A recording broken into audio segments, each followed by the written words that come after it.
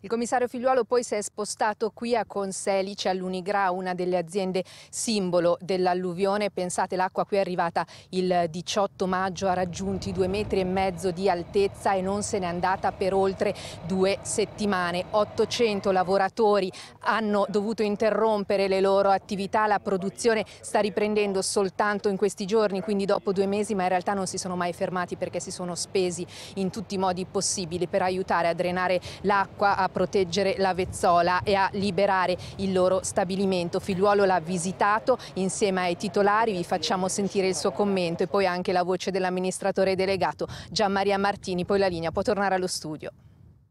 Qui si, vede, si, vedono i segni della devastazione, ho potuto vedere dal filmato, ma in realtà l'avevo già visto da altri filmati mandati dalle, dalle tv, dei media, e si vede anche l'operosità l'operosità dei romagnoli, eh, l'operosità degli italiani.